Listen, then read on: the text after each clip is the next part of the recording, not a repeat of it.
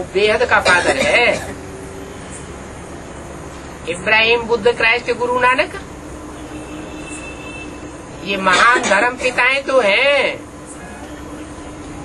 लेकिन बेहद के बाप नहीं है। क्राइस्ट को फॉलो करने वाले सौ, डेढ़ सौ करोड़ से भी ऊपर है दुनिया में। वो भी बेहद का बाप नहीं। है बेहद का बाप उसे कहा जाता है, जिसकी कोई हद न हो। सारी मनुष्य सृष्टि उसको मानने के लिए तैयार हो जाए, बाध्य हो जाए।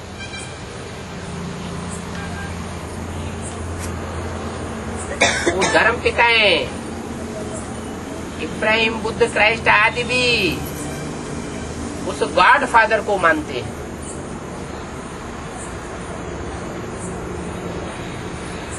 कोई भी धर्म पिता ने अपने को भगवान नहीं कहा है। क्राइस्ट भी कहता था, मैं गॉड फादर का बच्चा हूँ। गुरु नानक ने भी ऊपर को उंगली उठाई है। एक ओंकार, सदगुरु अकाल मूर्त। माना वो भी अपन को सदगुरु नहीं कहते थे, उनके फॉलोअर्स ने उनको सदगुरु कहना शुरू कर दिया।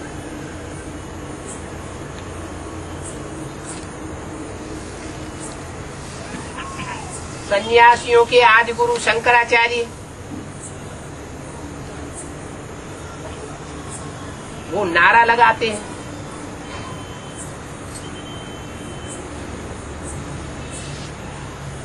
शिवो हम ब्रह्मास्मि वो उनका झूठा नारा साबित हो जाता है। अरे शिव नाम तो कल्याणकारी का है। जो सारी सृष्टि का कल्याण करता है, वो है शिव। उससे कोई ऐसा कार्य होता ही नहीं कि कोई का कल्याण हो जाए। बोलेगा, सो कल्याणकारी। इसलिए सिख लोग कहते हैं, जो बोले सो निहाल। कोई ऐसा वाक्य उसके मुख से निकल नहीं सकता, जो कोई का कल्याण करे। जहाँ देखेगा, कल्याण की दृष्टि से ही देखेगा।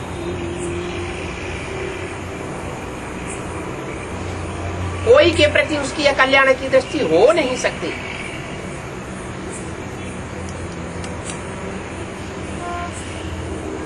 जिन्हें भी स्पर्श करेगा, उनके प्रति उनको कोई विकारी भावना नहीं हो सकती।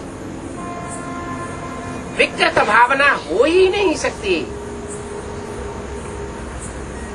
वो निराकारी है।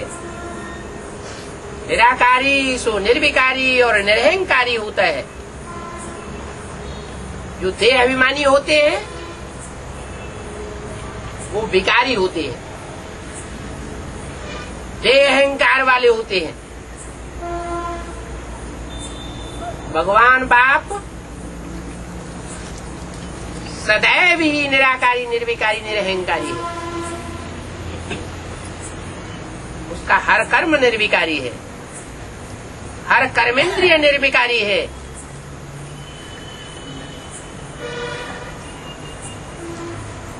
सन्यासियों ने अपने ऊपर टाइटल रखा ही लिया।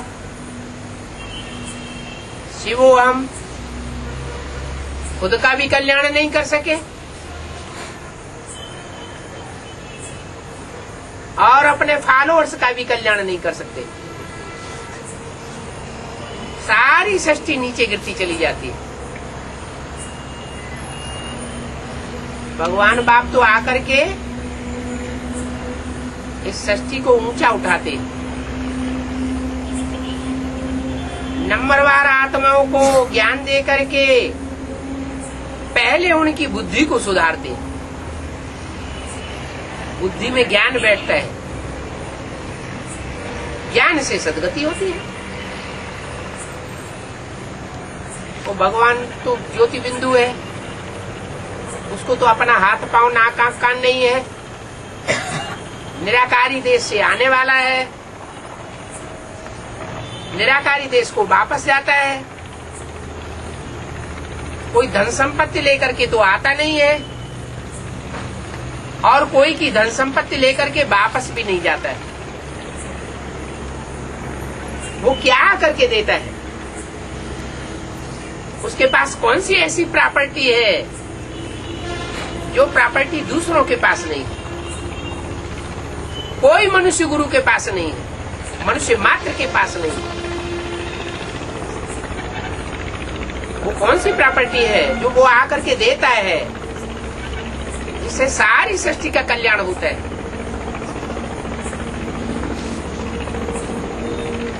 क्या देता है? ज्ञान देता है। सीधी शांति नहीं देता, सीधा सुख नहीं देता। वो ज्ञान देता है। ज्ञान माने जानकारी। का एक ही जानकारी?